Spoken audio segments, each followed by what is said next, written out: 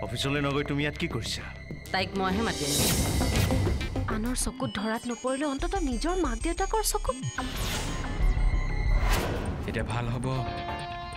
তুমি এবৰ্চন কৰি লোৱা।